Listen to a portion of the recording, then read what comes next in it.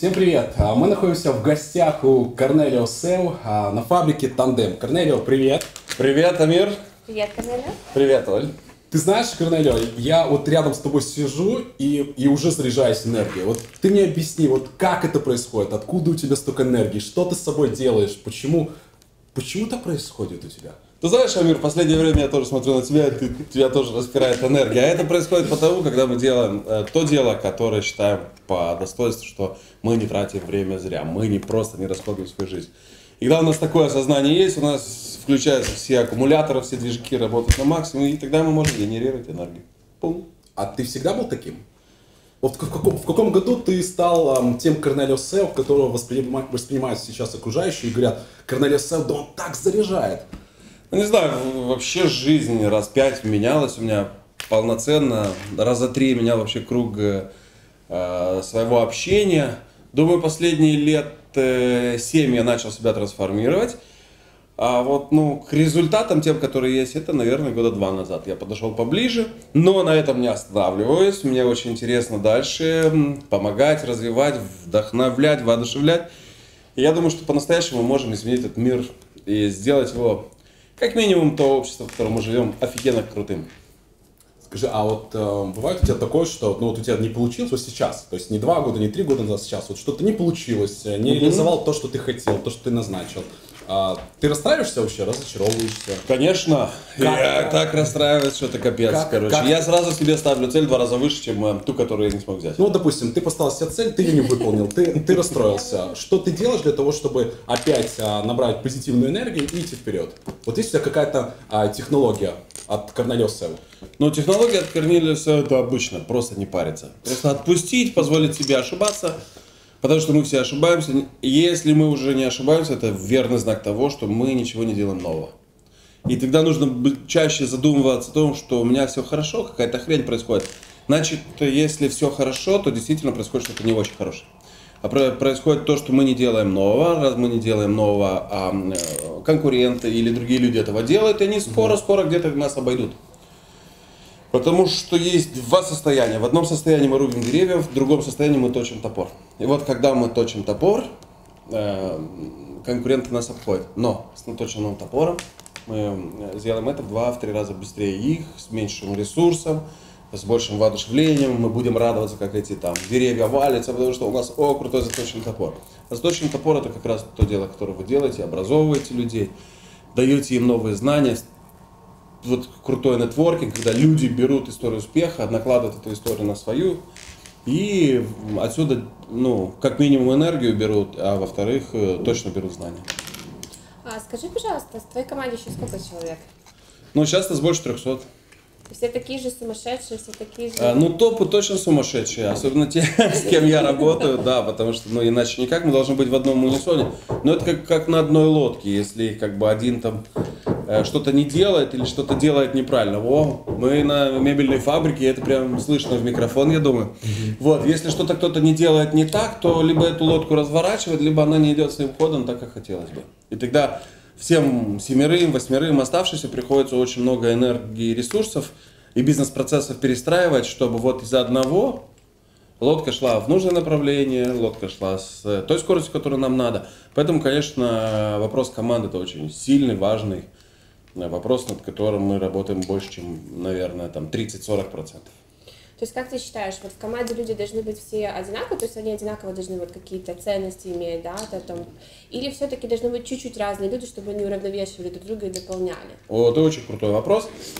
Я думаю, что ценности должны быть одинаковые, а экспертность у людей должна быть разная. То есть один должен быть хорошим художником для того, чтобы нарисовать какой-то хороший дизайн, второй должен э, быть очень технически подвязанный человек, третий должен сгармонизировать пространство для них, это некий такой менеджер, который э, ничего не умеет, но умеет вот этих людей так воодушевить, чтобы они вот, ну, хотели прямо рисовать круче всех. Юрист, который их защитит от внешних каких-то факторов, да, э, бухгалтер, который максимально, там, или финансист, который просчитает так, чтобы при минимальных инвестициях был э, максимальный эффект. И, конечно, экспертность разная, а вот дух должен быть один. Дух компании один. Скажи, а вот в твоей вот модели вот идеально, вот допустим, а, я хочу создать бизнес. Вот ты считаешь, мне одному создавать бизнес, либо брать партнер кого-то и сколько лучше партнеров? три человека, два человека. Вот в твоей идеальной Смотри, картине. в моей идеальной картине, конечно, синергия, она происходит. И в моей идеальной картине это в- больше, чем один человек. Мы тоже не зря тандем. Тандем это происходит от того, что у меня есть партнер. И самые глобальные проблемы э, и самые глобальные мысли мы, конечно, обсуждаем. Пусть это будет его мысль, пусть это будет э, моя мысль, но э, я считаю, что синергия умов, она, э, она несет э, очень крутой эффект. И больших, в больших компаниях, больших компаниях, даже Apple, ну там все знают, что у Стива Джобса был возняк, да, то есть большие компании всегда есть кто-то второй, и я здесь называю это самый первый первый, а это самый первый второй, потому что вот, вот эта синергия, которая происходит между двумя людьми, эм, она несет другую энергию, более мощную, потому что ты должен убедиться, что твоя идея хорошая, а для этого ты должен с кем-то поговорить. Для того, что с кем-то должен поговорить, а у него должно быть такое же открытое сердце, как у тебя. И никто не может настолько сильно открыть сердце, как твой партнер. А если происходит разногласие? Вот, допустим, 50 на 50. Вот, э, я, Это я- может я быть так, хороший значок как- о том, что это может быть недостаточно хорошая идея. Мы же бизнесы, люди бизнеса и лидеры слепы, по сути. И мы вгоняем педаль газа по, по максимуму и точно знаем, что ничего не произойдет. Но мы-то с вами знаем, что происходит. И падают и большие бизнесы, и падают и компании, которые никогда н- и в голову не пришло, что они могут разориться. Это именно из-за слепости лидер- лидера, я предполагаю. Что он очень в себе самоуверен. Не уверен, а самоуверен. И поэтому, когда у партнеров разные виды, то здесь это очень хорошо, это некий контроль. А, А а разногласия. Ну, вот, допустим, представь, вот у меня одна позиция развития бизнеса, у тебя другая. Так. И у нас 50 на 50. Не хватает третьего человека, который, возможно, бы э, добавил вот, ну, веса кому-то из нас. И Вот этого я, по- я вообще считаю, что это может быть сложность. У нас был бизнес на троих, на троих человек, и здесь такая сложность у нас всегда была. Когда двое договаривались, мне казалось, что они сейчас что-то базарят против меня. Вот я прям всегда, я вот в лицо говорю своим друзьям, и, они, и я думаю, что они то же самое чувствовали, когда там кто-то, двое другие, я с кем-то разговаривал, третий что он против меня сейчас погнал, да? Потому что если есть одно мнение, и два остальных, то внутри кажется, что хотя мы были очень крутыми друзьями, я очень рад, что сегодня очень крутые друзья, но вот, э, вот это ощущение, что что-то они пошли против меня, потому что мы лидеры. И чем больше лидер, ну, человек не хочет быть первым-вторым. Ну, по большому счету, если он там, он хочет первым-первым. Но если договориться, да, и вносить некую там э, ясность в отношениях, потому что договариваться нужно на берегу, можно переговариваться. И у человека в жизни все-таки меняются ценности по ходу своей жизни, это я считаю. И чем больше эти ценности меняются, тогда и в бизнес надо сидеть передоговариваться. То есть прошло 5 лет, и прямо вот сегодня договоримся, давай мы передоговоримся еще раз через 3 года. Мы вот такого-то числа, 2020 года, какое будет э, число, там, 25 апреля, мы сядем и поговорим, куда мы будем двигать наш бизнес. А до тех пор мы просто вкалываем и доверяем друг другу, и будем подстраиваться, будем чуть-чуть от себя отпускать, тогда будет бизнес взрываться. А через три года можно передоговориться. Бизнес будет стоить каких-то денег, можно выкупить долю друг друга, можно одного оставить в управлении, а второй будет получать только бабло. Есть миллион, миллион возможно. Но тогда получается ясность, четкость в отношениях, и тогда это не парит. Скажи, а разногласия, вот каким образом? Так разногласие это круто. Так нет, смотри, Да. как, как, как их решать? Вот, допустим, у каждого есть обида, у каждого есть своя точка зрения. Вот ты как решаешь вот в тандеме? Как я понял, название тандем благодаря вот тому, что вот Да, в тандеме. да, в партнере. Не да. Партнерство- еще философского. Да, философский партнер мы с клиентом, это было самое такое инсайтовское, э, что э, могло быть из названий, хотя эксперты говорят, что там нет намека на мебель, на- нет намека. А я говорю, что чем бы мы ни занимались, главное, чтобы мы думали о людях. Вот в названии очень четко отражена наша философская политика. Мы думаем о своих клиентах. Мы думаем не только о клиентах, мы думаем о своих сотрудниках. Это тоже тандем между э, упра- управленческой частью компании и теми ребятами, кто делает эти блага, создает, предоставляет возможности клиентам ну, получать красивые, уютные дома. Вот это тоже тандем. Мы слышим друг друга, у нас нет баррикады. Вот эти зарабатывают бабло и там думают, что-то себе придумают, эти там, ну, работают в производстве. Нет, это тоже тандем. Это тандем между клиентами и тандем между э, партнерами. Это тандем еще с поставщиками. У нас, э, я четко верю в вин-вин. Это вот очень четко. и считаю это самой крутой технологией. Если обе стороны выигрывают, то это да. Я даже не буду там, если у меня есть возможность где-то урезать из э, цены у партнерской стороны, да, то есть я точно не буду, если я посмотрю, что она а, не будет достаточно хорошо зарабатывать. Потому что я точно знаю, что через полгода или год ее не будет, а мне с ней удобно работать. Я, если я себе позволю заплатить чуть-чуть больше, то я ей заплачу, чтобы она развивалась, чтобы она еще мне лучше давала какие-то материалы. Эти материалы мы сможем использовать для людей. Приходим к разногласиям. Если мы смотрим через технологию вин-вин, то тогда разногласия, они только точки для роста. А если разногласия другого формата, то эти разногласия, веро- вероятнее всего, на молдавском есть такое слово красивое орголиум. А, Вот он прям такой, как, как ручеек такой, орголиум. Это борьба за пьедестал или за цель? Потому что мы все люди, ну, немножко такие склонны к тому, чтобы...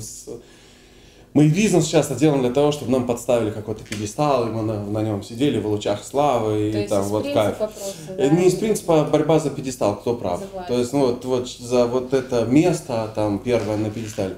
А если, ну, забыть про пьедестал и подумать, а вот, э, а что выиграет соседняя сторона, а что выиграет в сумме, Одна из технологий, как перейти через разногласия, это э, поговорить, что будет через полгода.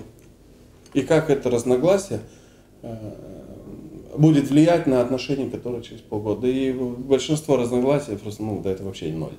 А, ну, ну, смотреть не только тактическую часть, а смотреть в долгосрочной перспективе.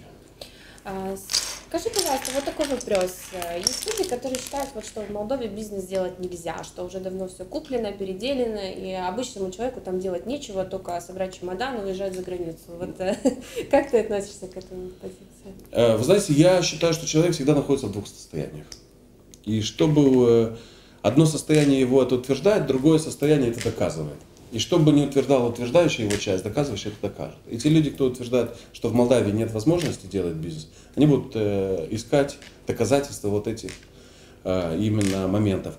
А люди, которые э, будут утверждать, что в Молдавии можно делать бизнес, они будут искать возможности. Я знаю очень много компаний, знаю очень много друзей, которые делали бизнес с нуля, которые поднимались без родителей, которых и фабрики, и бизнес, э, и уже не национальные, а они вышли на другие рынки, которые начинали, и не только начинали, но и делают э, э, работу здесь в Молдавии. Более того, я хочу сказать, что в мире на самом-то деле э, конкуренция намного выше, чем в Молдавии. В Молдавии нет конкуренции. Мы недостаточно качественно обслуживаем своих клиентов, ну и они нас прощают. У нас достаточно неплохо обстоят дела с, э, э, с работниками, то есть у нас еще и можно найти хороших ребят. Лю- Люди еще хотят учиться. А, Ну, я не хочу говорить о странах и какие примеры, потому что времени мало. Но в Молдавии не так сложно. У нас очень четкое, классное законодательство. Потому что у нас не европейская нал- нал- нал- налоговая система, которая оставляет себе 3% годовых. У нас все можно. У нас можно развиваться в уровне в услугах, в производстве. У нас э, ну, хорошее ну, вот, в туризме молдавском. Очень много направлений, где можно развиваться. Очень много. Я действительно считаю, что бизнес в Молдавии не то, что можно, но еще и нужно делать. Вот.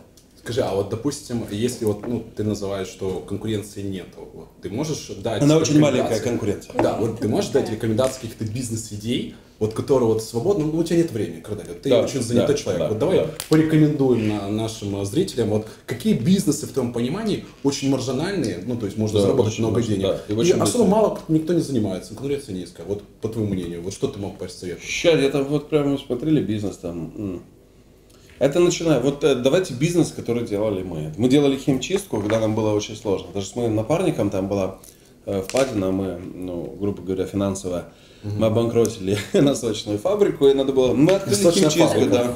да. Что значит? Да. Достаточно фабрика. Да, мы ее обанкротили. Все, крутяк такой, жесткач был. Но это был такой урок. Это очень круто было. Вот. На самом деле мы должны быть благодарны судьбе за вот эти моменты, когда у нас проблемы, потому что это самые большие точки роста. И только в этот момент мы понимаем ценность каждой секунды, ценность тех эмоций. И мы живем и переживаем каждую секунду, мы их помним всю жизнь. Когда у нас все хорошо, ну, как будто вот чувства аннихилируются немножко, мы их не чувствуем. Но давайте про бизнес. Бизнес – это те же химчистки. Это те же парикмахерские, которые у нас, у нас еще есть. Да, пусть говорят, что у нас парикмахерская, например, везде. Да, но вы сделаете самую хорошую. Вот э, наш прямой пример, это наш общий друг, мы не будем его называть по имени, его супруга открыла парикмахерскую, в этом году они хотят еще открыть две. Бизнесу два года, они открывают еще две парикмахерские. Вот. Одна из э, очень хороших, вообще все, все, все сферы услуг. Я верю, что все сферы услуг однозначно приносят э, большую, большую прибыльность. И э, там э, есть очень много вопросов. В Молдавии э, в мебели не такая большая конкуренция, как казалось бы в первый раз. Но нужно понимать одно. Нужно работать три года, чтобы через три года стать на вот этот пьедестал успеха. Но три года придется вкалывать. Проблема в другом, что наш менталитет, он думает, что мы вот сейчас вложим, и где-то через два месяца он начнет давать прибыль. Нет, он не начнет давать прибыль, и директор будет, то есть вы, как собственник, будете закрывать 95% всех функций, которые должны быть в, это, в этой организации. Начнете через себя, будете каскадировать их на остальных сотрудников. Вот. Не знаю, возьмите бус, начните транспортные услуги, но сначала вам нужно будет быть водителем. А потом вы возьмете еще одного водителя, через полгода у вас будет 5 водителей, вы будете диспетчером. И вот будет неплохое начало транспортной компании. А, а если, допустим, вот, ну, вот взять среднестатистического а, начинающего бизнесмена Да. в Молдове, он думает о том, что ну вот сто- столько проблем, столько всего здесь, ну опять я начну, опять не получится, опять вот три года ждать, а там еще может обанкротиться на, Конечно, да. носочная фабрика и еще что-то. И, и- и появляется страх. И он думает, да ну нафиг, лучше пойду работать на дядю, это намного лучше. Это тоже нормально. Потому что бизнесмен Я не про это, риском. это ненормально. Я- я- я- я другая- У меня другая мысль. Да. У меня другая мысль. Пусть Вот ну, хорошо, это вот ты вот, вот Корнелиус, смотри, вот Я, я не говорю, как на тебе говорят. Ну ты это вырежешь, он это вырежет. Понимаешь? Мне интересно, вот, вот что делать вот этому среднестатистическому гражданину, который, у которого столько сомнений, столько вопросов, и прежде чем он дойдет к чему-то, чтобы делать, он уже передумывает, думает, да ну нафиг этот бизнес, э, лучше пойду дядю. Вот может быть ты дашь какие-то конкретные шаги, которые должен сделать человек, чтобы действовать и не сомневаться, и не передумывать и так далее. Да, давайте. Давай. Давай, Вот- давай. вот это Очень просто, да. Первое. Делать все. Первое. Просто осознать, что легко не будет. Окей. Первое. Второе. Есть э, технология трех шагов, которая она очень простая. Это первое, осознать то место, в котором ты находишься на самом-то деле, понять, вот что у тебя, прописать. Вот у меня такое состояние финансовое, у меня столько долгов, у меня такие отношения с друзьями, у меня такие отношения, там, не знаю, с родителями, с девушками, с семьей. Я вот, вот по здоровью у меня такое состояние. Все, у меня есть такие знания, у меня есть такие плюсы. Второй вопрос. Это просто простить себя за то, за- в каком то окружении. И второй вопрос очень сильный и мощный, по- по-настоящему простить. Иначе мы всегда будем находить э, себя в том состоянии, почему все это, мне не повезло там, не знаю, со школы, там, с друзьями или там с временем, когда мы родились. И третье, четко прописать то состояние, в котором ты хочешь на- находиться. Проблема не в том, что люди ничего не хотят делать. Проблема в том, что э, э, люди не, не понимают достаточно хорошо до конца, чего они хотят. Они очень четко, жестко понимают, чего не хотят, но это ни на каплю не приближает их собственным целям и мечтам. Они не хотят мало зарабатывать. Но если их спросить, а сколько ты хочешь зарабатывать, они не будут знать, к сожалению. Они не хотят, чтобы они, они жили в такой стране. А в какой стране ты хочешь жить? Ну, я хочу там, где, там чисто на улице. Сколько бумажек ты собрал за последнюю неделю сам? Э, ну, я пост написал. Но это же про то, что тоже не хочу так, а не как хочу, да? А, Что ты сделал в собственном дворе, что ты сделал на собственной площадке, ты подмел, не подмел. Начинаем с себя, с собственного шкафчика, с собственного рабочего стола, с собственных мыслей, переписываем их на бумагу, освобождаем голову, чтобы туда входили мысли, которые светлые и яркие. Но для того, чтобы туда входили светлые и яркие, там нужно сделать порядочек. А это все надо прописать, состояние, мысли, чего есть, чего... Ну, простить.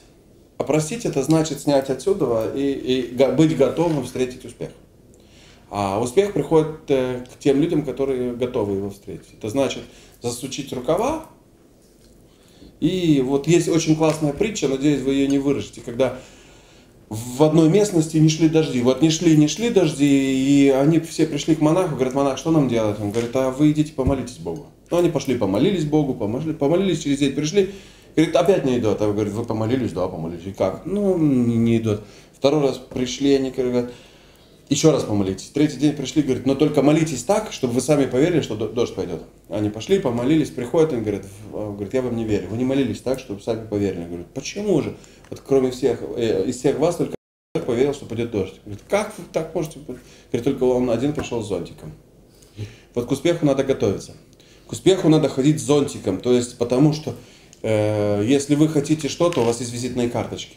Если вы приходите на встречу в бизнес э, в КМБ, то у вас есть визитные карточки, и ты в этом пишете, мне для завоевания мира не хватает маркетолога, и, и, и всем ее раздаете. И мне для того, чтобы э, э, вот э, открыть, у меня есть бизнес-идея, мне нужно 6 тысяч долларов. Вы печатаете такую визитную карточку, всем раздаете. У кого есть 6 тысяч долларов, сразу с вами встретиться. Если вы говорите, приходите, никому ничего не говорите, вы приходите без бизнес-карточки, никто не знает ваших мыслей, ваши мысли путаются еще и с теми мыслями, чего вы не хотите, и вероятнее всего, что вы будете говорить то, чего вы не хотите, то какого хрена это может э, э, соединиться? Нет. А когда вы не, уже не паритесь на чего не хотите, все ваши мысли сконцентрированы в будущем, оно непременно реализуется и будут. Вот в вашу жизнь приходить люди, которые вам будут помогать реализовывать. Вот все, все дело в вере, все дело в, в утверждениях. Нужно поменять утверждения, а не доказательства. Потому что мы живем в большей части в мире доказательств. Мы меняем доказательства. Я, буду, я тебе докажу, почему плохо. А ты попробуй мне утверждение поменяй и все. Если ты мне поменяешь утверждение, я и сам себе докажу.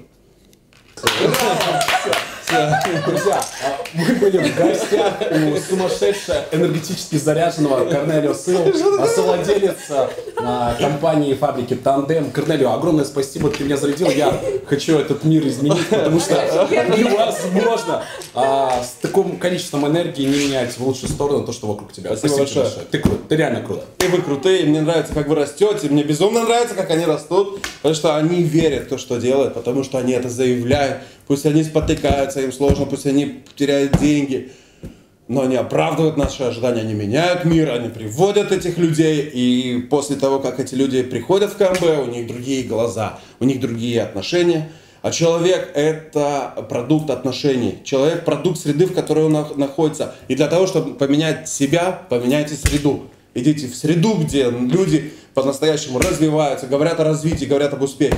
И тогда ваша жизнь изменится. Все. Круто.